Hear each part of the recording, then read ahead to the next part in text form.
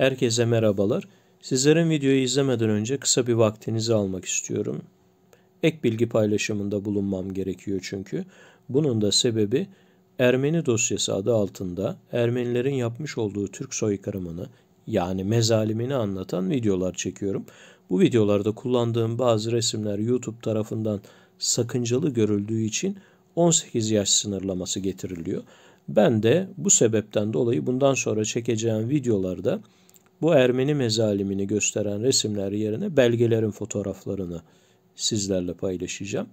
Bu fotoğrafları yani Ermeni mezalimini anlatan birebir fotoğrafları ise zeytun ayaklanmasında ve yine sadece resimlerin bulunduğu bir videoda sizlerle birebir paylaşacağım ve bu resimleri altında kimlerin ne şekilde öldürüldüğünü de gösteren bilgilerle sizlere sunacağım.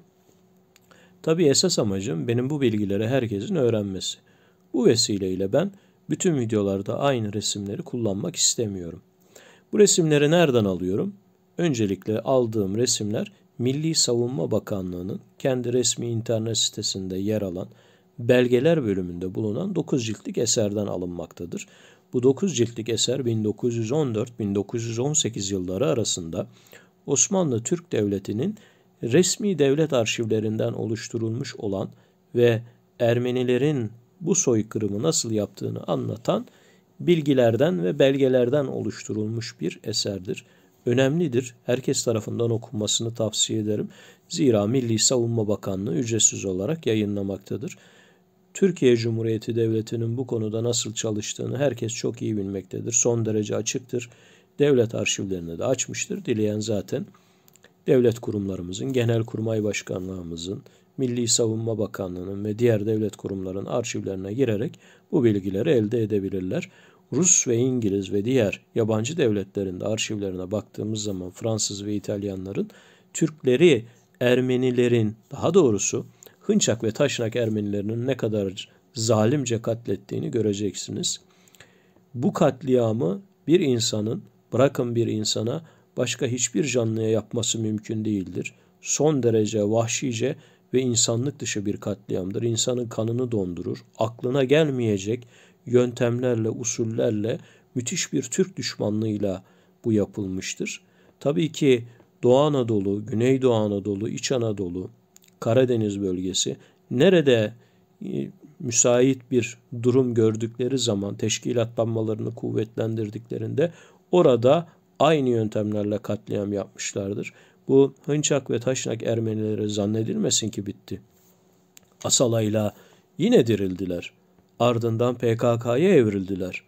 Yine aynı Hınçak ve Taşnak Ermenileri Hocalı'da Azerbaycan Türklerine aynı mezalimi gerçekleştirdiler.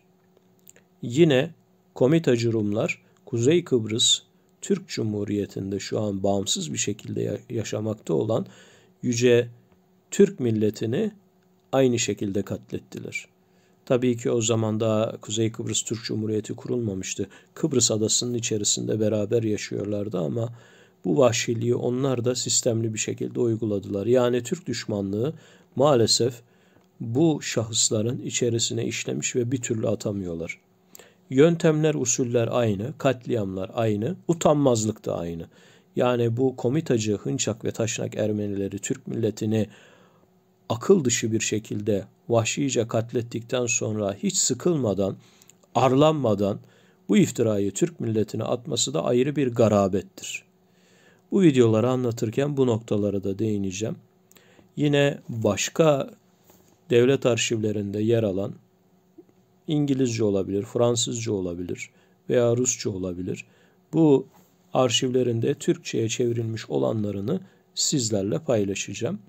Başka kaynaklar da var. Sadece Genelkurmay Başkanlığı'nın tabii ki belgeleri yok. Diğer kaynaklar da var. Bağımsız kaynaklar da. Ancak birçok bu konuda araştırma yapan hem yabancı devletlerin kaynaklarından hem de Genelkurmay'ın kaynaklarından faydalanmıştır. Genelkurmay'ın kaynakları da Osmanlı Türk Devlet Arşivlerinde bir yer alan yani o zamanki askeri kurumumuzun içerisinde yer alan ve Genelkurmay Başkanlığımıza devredilen resmi arşivlerdir. Değerli arkadaşlar bunları anlatmak kolay değil. Neden kolay değil? Bu mezalim gerçekleştirildiği zaman e siz bunu okuyorsunuz. İster istemez bu mezalimin resimleriyle karşılaşıyorsunuz ve bunları paylaşıyorsunuz. Gönül ister ki tabii ki bütün bilgileri birebir anlatayım. Bütün elde etmiş olduğum bilgi ve belgeleri paylaşayım. Ancak bu internet ortamında çok mümkün olmuyor. Elimden geldiği kadar ben Ermenilerin yaptığı bu mezalimi sizlerle yine resmi devlet arşivlerinden faydalanarak anlatıyorum. Sizlerin de bu konuda şu açıdan desteğinizi bekliyorum. Elinizde bu konuyu anlatan başka bilgiler olabilir, arşiv belgeleri olabilir. O olmasa bile en azından yorumlarınızla destek olabilir. Bu videoları paylaşabilirsiniz. Teşekkür ediyorum. Bana zaman ayırdınız. Bu videoyu seyrettiniz. Tekrar görüşmek üzere. İyi günler dilerim. Merhabalar arkadaşlar. Yine bir tarih videosunda sizlerle beraberim. Bugünkü videomun konusu Ermeni dosyası içerisinde yer alan ve çok büyük bir yer tutan Zeytun isyanı. Zeytun isyanı Ermeni kalkışmalarında, Ermeni isyanlarında çok önemli bir miyar noktasıdır. Neden?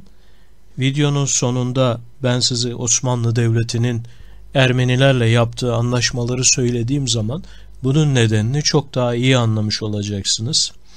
Ermenilere ve Ermeni ayrılıkçılara verilmiş olan büyük bir tavizle sonuçlanmıştır ve her zamanki gibi batılı devletler burunlarını sonuna kadar bu işe sokmuşlardır. Gelelim şimdi Zeytun isyanına. Bu zeytun nerede yer almaktadır? Zeytun, Kahramanmaraş iline bağlı Süleymanlı ilçesine bağlıdır. Ve konum olarak da İskenderun körfezinden buraya geçiş noktaları bulunduğu için yabancı devletler isyanlarda sürekli silah, gıda ve para yardımında bulunmuşlardır Ermenilere. Ermeni kalkışmaları biliyorsunuz Osmanlı tarihinde sürekli devam eden yani neredeyse 1500'lü yıllardan 1915'lere kadar devam eden bir süreci kapsamaktadır. Yani ben tüm bu isyanların sonucunda bu Ermenilerin nasıl milleti sadıka olarak ilan edildiğini henüz anlayabilmiş değilim. Tabii ki Ermenilerin hepsi ayaklanmamıştır lakin ciddi bir miktarda da Ermeninin ayaklandığı ve Ermenilerin yüzyıllar boyunca Osmanlı Devleti'nin içerisinde hür bir şekilde yaşamalarına rağmen sürekli bir isyan içerisinde olup yaşadıkları toprakları kendilerine ait yerler gördükleri için her daim Osmanlı Türk Devleti'ni işgalci olarak görmüşlerdir. Zira bu isyanların patlaması ve taban bulmasının da esas sebebi budur. Tabii ki batılı devletler desteklemiştir, örgütlemesini yapmıştır. Ancak Ermenilerin içerisinde bu rüya, bu hayal hep vardır.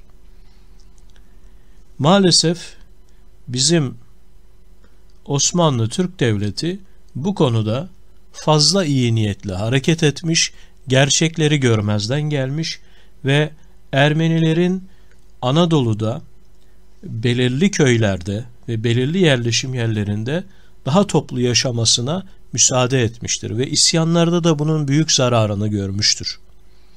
Dilerseniz Zeytun isyanına geçelim ve ne demek istediğimi siz de net bir şekilde görün.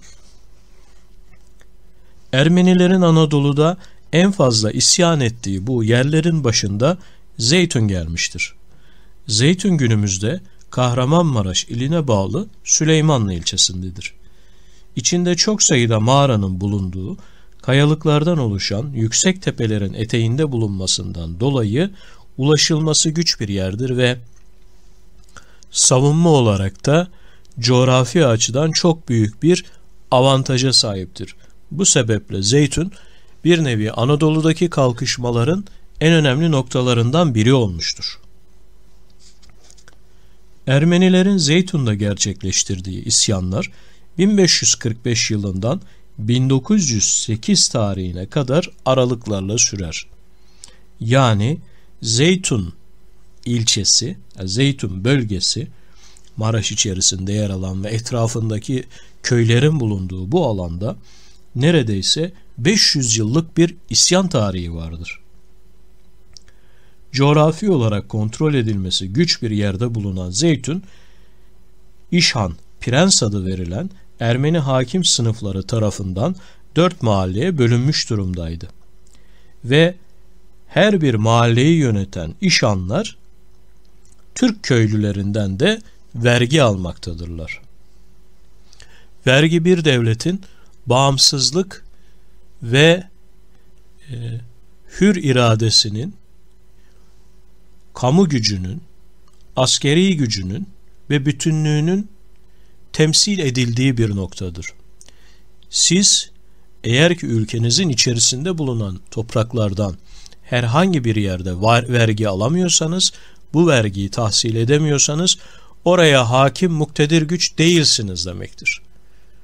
Bir devletin kendi toprakları içerisinde vergi alamadığı, almakta zorlandığı hiçbir nokta olamaz. Böyle bir nokta varsa biliniz ki burada ayrılıkçılıklar ve bölücüler bulunmaktadır. Ermeni yazar Boryan, Ermenilerin 1780'de, 1782'de 1808'de, 1819'da, 1829, 1832, 1835 ve 1860 tarihlerinde Zeytun'da silah, silahlı isyana karıştıklarını belirtmiştir. Boryan, Osmanlı Devleti'nin Zeytun'da hakimiyet kurmada zorlandığını vurgulayarak Zeytun Ermenilerinin yarı özerk hatta bazen de özerk olduğunu belirtmiştir. 1852 yılında Çukurova'yı dolaşan Moldovyalı Levon Radoviç kaleme aldığı bir raporunda Zeytun Ermenilerini Karadağlılara benzetir. Radoviç, Zeytun Ermenilerinin 20 bin veya 30 bin kişilik silahlı birlikler çıkarabileceklerini vurgular. Lakin 1865 tarihinde Zeytun nahiyesinin tahmini nüfusunun 1647 haneden oluştuğu ve yörede 8235 kişinin yaşadığı dikkate alındığında 20 veya 30 bin kişilik silahlı birliğin çıkarılabilmesi burası için mümkün değildir. Ancak köylerini ve etrafındaki yerleşim yerlerini dahil ederseniz o zaman bu kalkışma için 20 bin 30 bin kişi çıkartılır. Zeytun Ermenilerinin büyüklüğü itibariyle gerçekleştirdikleri dikkate değer ilk büyük isyan teşebbüsü 1862 yılında olmuştur. Bu isyan sırasında Ermeniler 3. Napolyon'a bir heyet göndererek kendilerini korumasını istemişlerdir. 1862 yılındaki isyan Osmanlı hükümetinin alamadığı vergileri toplamak istemesi fakat soyunun Katolik Lusignan hanedanından geldiğini ileri süren ve son Ermeni prensi olduğunu belirten Levon adındaki bir sahtekar maceracının Fransız hükümetinden yardım istemesi ve Zeytun'a gelerek Ermenileri isyana kışkırtması üzerine başlamıştır. Yani Osmanlı Devleti bu bölgede sürekli bir vergi almada sorunla karşılaşmaktadır. Bu bize neyi hatırlattı? Tunceli bölgesindeki Dersim isyanlarını. İsyanın mahiyeti aynıdır. Orada da devlet tanımamazlık vardır. Aynı oradaki isyanda da vergi vermek istememek vardır. Yine özerk yönetim talepleri vardır. Yani talepler, isyanlar, içerikler, kişiler aynıdır, isimler değişir. 1862 yılında Zeytun'u temsil eden bazı Ermeniler gizlice İstanbul'a gelmişlerdir. Zeytun'dan gelen Ermeniler için yapılan bir toplantıda devrin ünlü Ermeni şairlerinden Beşikti, Beşiktaşlıyan şu şiiri okumuştur. Ey nazlı ana, kimi özlüyorsun? Gel buraya korkma, yakın gel. yarasından kan akan yavruna, gözyaşları dökmeyerek dayanıklılıkla bak. Bırak Türk anaları ağlasın. Sen zeytuna sevinç haberi götür. Güneş doğdu zeytunlular, çabuk atlara binelim, silahlar yukarı, arş ileri yürüyelim. Çekinenler, yurt ve kucak düşkünleri bizden değil. Bunca çektiğimiz kulluk, tutsaklık artık yeter. Acılığı biraz da Türkiye tattırmaya çalışalım. Zeytun'da 1865, 1873, 1878 ve 1884 yıllarında tekrar isyanlar olmuştur. Bu ayaklanmalarda birçok Müslümanın kanı dökülmüştür. Zeytun'da Ermeni isyanlarının kendine özgü hususiyetleri mevcuttur. Zeytun'da sık sık isyan çıkarılmasının belki de en önde gelen nedeni buranın coğrafi olarak kontrol edilmesi güç olan bir yer olmasıdır. Konumu itibariyle İskenderun körfezinin oldukça yakınında yer alması çok önemli bir etkendir. Zira Zeytün'ün coğrafi konumu büyük güçler tarafından denizden Zeytun Ermenilerine silah yardımı yapılmasını kolaylaştırır.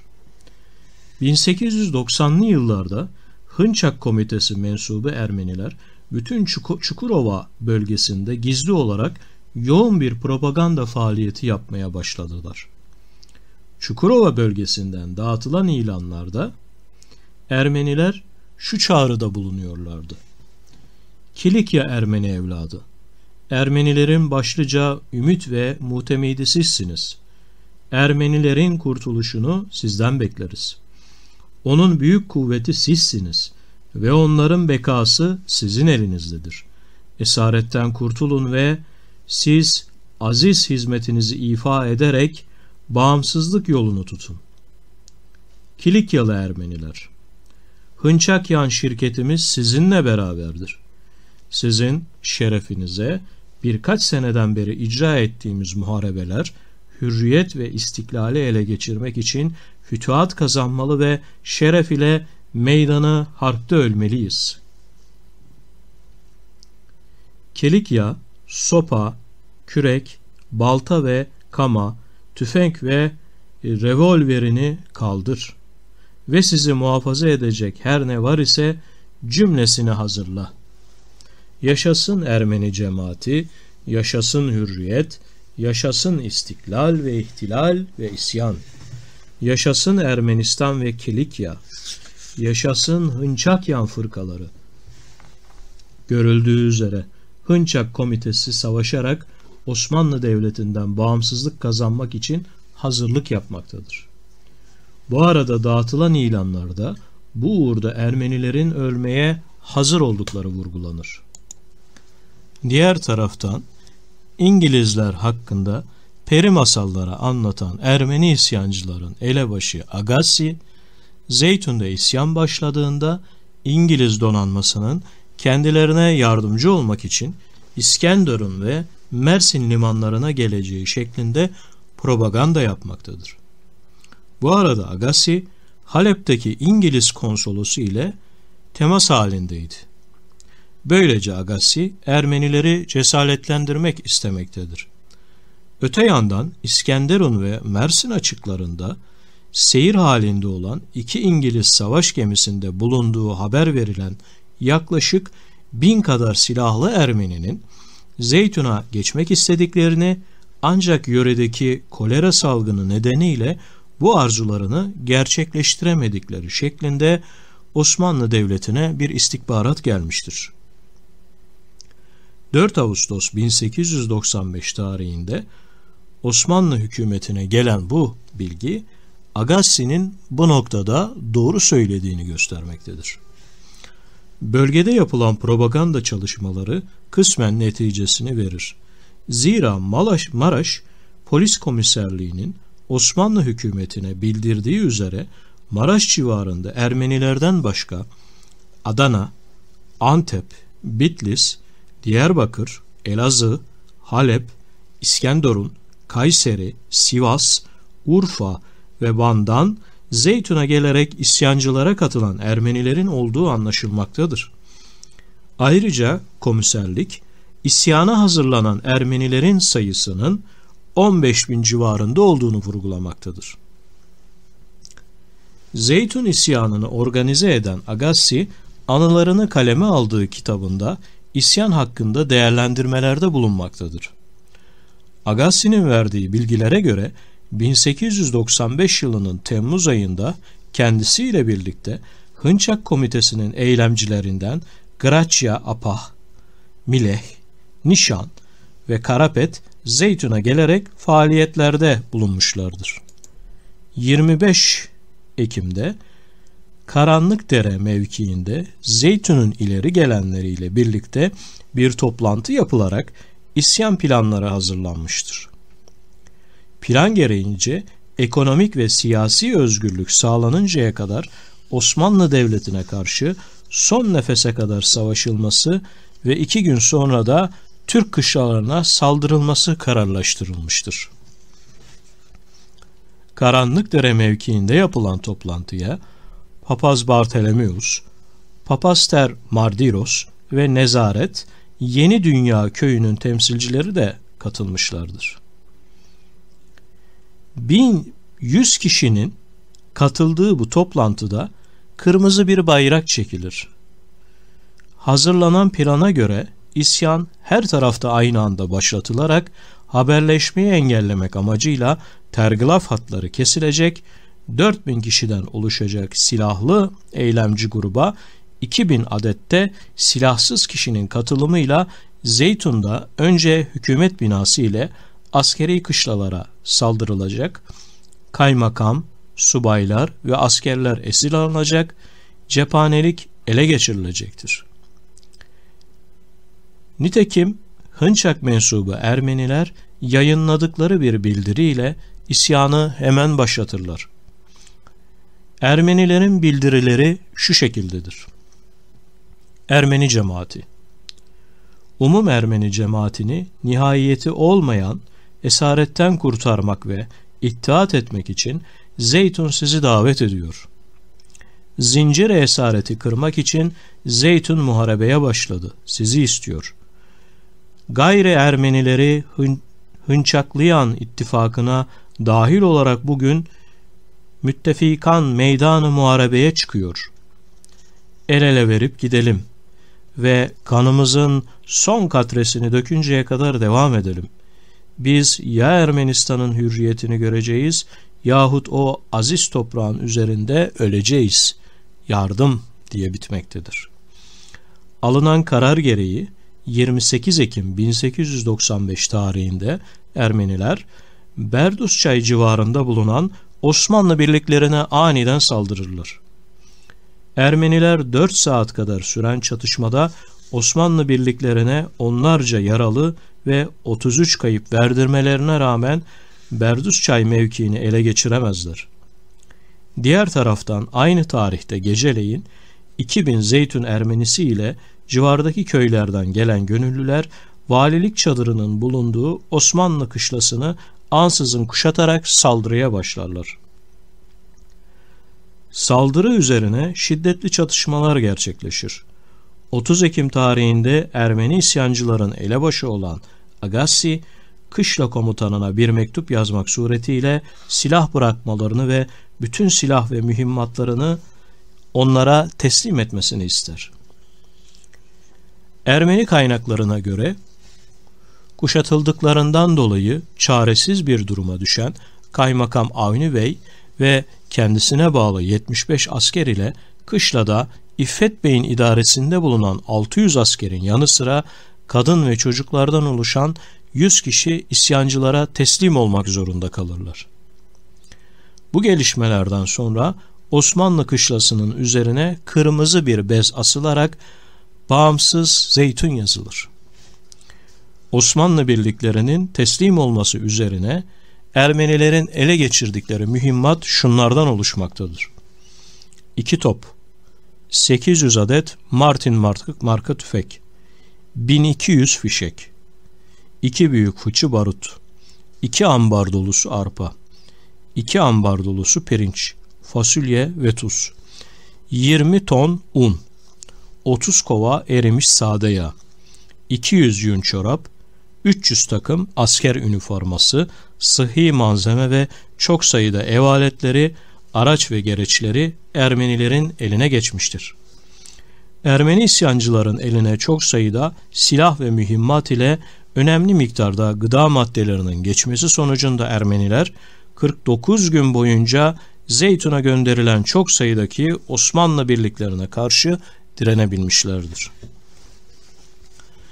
Nitekim 1 Kasım 1895 tarihinde Zeytun Ermenileri tarafından geçici bir ihtilal hükümeti kurularak Agassi başkan olarak seçilir. Bu gelişmelerin haber alınması üzerine yöreye sevk edilen Osmanlı birlikleri tarafından Zeytun kuşatılır. Zeytun Ermenilerine ve onlarla birlikte isyan eden çevredeki 39 Ermeni köyüne karşı Kasım ayında başlayan şiddetli mücadele Aralık ayına kadar sürer. İsyancı Ermeni köylüleri Osmanlı birliklerinin taarruzuna dayanamayıp Fırnıs nahiyesine çekilirler. Burada toplanan 1500 silahlı isyancıya karşı Ali Paşa'ya bağlı birliklerin 3 gün boyunca şiddetle çarpıştığı bilinmektedir. Silahlı Ermeniler mühimmatlarının azalması üzerine çevrede bulunan sarp kayalıklara çıkarak buradan Osmanlı birlikleri üzerine taş ve kaya yuvarlarlar. Ancak yok edilmekten kurtulamazlar. Ermeni yazar Sarkisyan, Fırkıs'ın ele geçirilmesinden sonra kadın, yaşlı ve çocuklardan oluşan sivillerin öldürüldüğünü ileri sürür. Oysa isyancıların elebaşı Agassi'nin kitabında nakledildiğine göre Fırnıs'ın düşmesinin ardından Fırnıs'ta bulunanlar ve Zeytun'un diğer yerlerinden mülteciler Zeytun'a akın etmişlerdir. Yani burada teslim olmak isteyen kadın, yaşlı ve çocuklar hep birlikte serbest bırakılmışlardır. Yani bir Hınçak Ermenisinin yalanı da burada çökmektedir. Osmanlı birlikleri Fırhıs nahiyesinden sonra Zeytun'u kuşatırlar. Agassi'nin yazdıklarına göre Zeytun'da silahlı, silahlı Ermenilerin sayısı 6 bin kişiyi aşmıyordu. Ancak bu dönemde nüfusun 20 bin kişi olduğu anlaşılan Zeytun'un Aralık ayında 50 bin kişinin üstünde bulunduğu belirtilmektedir. Yani Zeytun'a ciddi miktarda bir Ermeni isyancı akını gelmiştir. Agassi 7'den 70'e herkesin olanca gücüyle Osmanlı birliklerine karşı savaştıklarını ifade eder. Çok şiddetli ve kanlı geçen çarpışmalardan sonra Osmanlı birlikleri büyük kayıp vererek bazı yerlerde kuşatmayı yarar. Ancak Aralık ayının başında çarpışmalar Salavan Dağı yani Sandağ Dağı ile Çataklar veya Çardak diyelim biz ona Avakkale mevkilerinde yoğunlaşır. Agassi'nin ifade ettiğine göre buralardaki mücadele Osmanlı birliklerinin 3 günde verdikleri kayıp sayısı 7500, ilk günlerdeki kayıpları ise 2500 kişiye ulaşır. Agassi, İzmir Polis Müdürü'nün kendilerine bildirdiğine göre İzmir'den gelen 8000 kişilik birlikten sadece 2000 kişinin yaralı ve sakat olarak geri dönebildiklerini belirtir. Kilis'ten gelen 2000 kişinin de ancak 40 kişi olarak geri dönebildiği vurgulanır. Yani Osmanlı Türk askeri çok ciddi bir miktarda kayıp vermiştir. Elbette Türklerin kayıpları sadece askerlerden ibaret değildir. Zira Maraş Polis Komiserliği'nin bildirdiğine göre Zeytun yöresinde Ermeni çeteleri tarafından yüzlerce Müslüman köyü katledilip evler ateşe verilerek mal ve mülkleri yağmalanmıştır. Ermeni yazar Meri Koçar ise 4 ay kadar süren çarpışmalarda Ermenilerin 3500 kayıp verdiklerini, buna karşılık Osmanlı birliklerinin kayıplarının 20 bin olduğunu ileri sürer. Rus asker kökenli diplomat Mayevski'nin naklettiğine göre Türklerin 20 bin kayıp verdikleri yazmış olduğu Pierre Coelart adlı kitapta belirtilmiştir. Bu arada Zeytun'da açlık ve hastalıklardan da ölümler başlar. Aynı şekilde soğuk ve açlıktan Osmanlı birlikleri de ciddi kayıplar verir. Aynı dönemde Balkanlarda da isyan havası sezilmeye başlanmıştır. Selanik'te başlayan bu ayaklanma girişimleri Rumların Yunanistan'a bağlanmak için hazırlık içerisinde olduğunu gösterir. Osmanlı birliklerinin Zeytun'u bir türlü ele geçirememesi Osmanlı hükümetini rahatsız eder. Zira bu isyan diğer milletlere de örnek olabilir.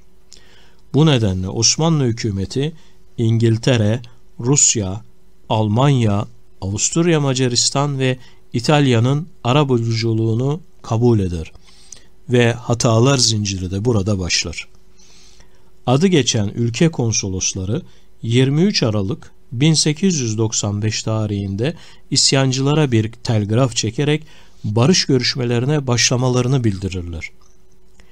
Bu gelişmeden sonra isyancıların elebaşı olan Agassi 25 Aralık tarihinde konsolosların teklifini kabul ettiklerini belirtir. Bunun üzerine İngiliz, Rus, Fransız ve İtalyan konsoloslar Zeytun'a gelirler ve 23 Ocak 1896 tarihinde görüşmeye başlarlar. Ermeniler, Şukurova Ermenilerinin büyük güçler tarafından seçilecek bir Hristiyan işanı yani prens idaresinde kendi kendilerini yönetmelerini ve altı vilayette ıslahat yapılmasını isterler. Bu taleplere karşılık olarak konsoloslar Zeytun Ermenilerinin Agassi ve arkadaşlarını teslim etmeleri halinde Osmanlı Sultanı'nın bütün Zeytunluları bağışlayacağını, isyancıların elebaşlarının askeri mahkemede yargılanacaklarını bildirerek Ermenilerin top, tüfek ve askeri mühimmatı teslim etmeleriyle ellerinde bulunan esirleri serbest bırakmalarını isterler. Konsolosların önerilerinin kabul edilmemesi durumunda Zeytun'u terk edecekleri de kendilerine ifade edilir. Bunun üzerine Ermeni görüşmeciler Zeytunluların bağımsızlık için savaştıklarını, kendilerine 3 yıl yetecek miktarda askeri mühimmat ile gerekli gıda maddelerinin olduğunu, hedeflerine ulaşıncaya kadar mücadele edeceklerini vurgularlar. Ermeni isyancılarının uzlaşmaz tutumu üzerine 24 Ocak 1896 tarihinde Zeytun'da bulunan birliklerin komutanı Ethem Paşa, konsoloslar aracılığı ile daha yumuşak bir öneri paketi sunar. Ancak Ermenilerin bu teklifi de kabul etmemesi Osmanlı hükümetinin geri adım atmasına sebep olur. 13 Şubat 1896 tarihinde altı devletin temsilcileri ile birlikte isyancı Zeytun Ermenileri ile bir barış sözleşmesi yapılır. Genel adları aşağıda belirtilen sözleşme ile şu anlaşmaya varılır. 1. İsyancı Zeytun Ermenileri ile dört elebaşının affedilerek kendilerine büyük güçlerinin denetiminde yurt dışına çıkarılma güvencesi verilecektir. Yani isyanı başlatan ve liderliğini yapan Agassi ve Efradı affedilmiş, yurt dışına çıkışları serbest bırakılmıştır. 2. Altı Avrupalı devletin onayı ile Zeytun'a Hristiyan bir idarecinin atanmasının kabul edilmesi. Bu aynı zamanda Osmanlı Devleti'nden kopuş yani özerklik demektir. 3. Zeytun Ermenilerinden oluşacak bir jandarma müfrezesinin oluşturulması. Bu da bir özerkliğe giden yoldur. 4. Geçmiş yıllardan kalan ödenmeyen eski vergi borçlarının bağışlanması, vergi hakkını da elinden kaybetmiştir. 5. 5 yıl süresince Zeytun ve yöresine vergi muafiyeti getirilmesi. 6. Halkın can ve mal dokunulmazlığının inanç ve şahıs özgürlüğünün kabul edilmesi. Bu zaten olan bir durumdu. 7. Zeytun'dan Osmanlı birliklerinin çekilmesi. Yani Osmanlı Devleti bütün haklarını buradan geri çekerek bağımsızlığını kabul etmiş oluyor. Askerinin bulunmaması demek sizin oranın kontrolünü sağlamamanız, oraya sahip olmamanız demektir. 8. Birliklerin Zeytun'dan ayrılışına kadar görüşmeye katılan konsolosların Zeytun'da kalmaları. 9. Anlaşmanın yerine getirilmesini kontrol etmeleri için Avrupalı devletlerin Maraş ve Mersin'de konsolosluk açmalarına izin verilmesi. Böylece yabancı devletlerin Osmanlı Devleti'nin iç işlerine karışması resmi bir hale getirilmiş. Osmanlı Devleti de bunu ne yazık ki kabul etmiştir. 10. Anlaşmanın Zeytun'un dışındaki Ermeni köylerine de uygulanması karara bağlanır. Görüldüğü üzere Osmanlı hükümeti kendi ülke sınırları içerisinde bulunan Zeytun idaresinden elini çekerek onur kırıcı bir anlaşma yapar. Bu sözleşme Osmanlı Devleti'nin ülke genelinde Ermeni isyancılara verdiği en büyük tavizlerden biri olur. Böylece Zeytun yabancı devletlerin nüfusu altına girer. İsyanın elebaşı olan Agassi ve arkadaşları sözleşmenin imzalandığı gün Zeytun'dan ayrılarak Mersin'e geçerler. Buradan ise 12 Mart tarihinde İngilizlerin himayesinde Marsilya'ya doğru çıkış yaparlar. Zeytun hadisesi burada biter ama buradan güç alan Ermenilerin Van isyanları, arkasından gelecek olan yine ikinci Sasun isyanı, Osmanlı Bankası'nın basılması ve bunun gibi olaylar arkası sıra gelmektedir. Değerli arkadaşlar, bu Ermeni kalkışmalarını 1914'e kadar getireceğim. Daha sonra 1914 ve 1918'deki olayları ve tehciri anlatacağım. Aynı zamanda Ermeni mezaliminin nasıl gerçekleştiğini, Ermenilerin Türklere nasıl katlettiğini devlet arşivlerinden sizlere anlatmaya devam edeceğim. Bu arada şunu da eklemek istiyorum. Zeytun isyanı sırasında kaymakamla birlikte esir alınmış olan 50 subay ve 600 asker Ermeni komitacı kadınlar tarafından katledilmişlerdir. Yani çarpışma sırasında şehit olmuş olan Osmanlı Türk askerinin ve sivil Türklerin dışında ayrıca bu çatışmada baskın yiyen ilçedeki askerler de esir alınmış olan askerler de katledilmişlerdir. Bu üzücü hadise de Zeytun isyanının nedenle büyük olduğunu ve bu Ermeni komitacıların, Hınçak ve Taşnak komitacılarının ne kadar acımasız olduğunu bir kez daha ortaya koymuştur. Tarihi gerçekler Yüce Türk milleti tarafından bilinmeli ve ona göre tarihin her döneminde Türk milleti uyanık olmalıdır. Zira Türk milleti güçsüz olduğu zaman, kahraman Türk ordusu zayıfladığı zaman Türk milletinin başına neler gelebilir? Her Türk'ün bunu çok iyi bilmesi ve kavraması gerekiyor. Allah'a emanet olun. Görüşmek üzere.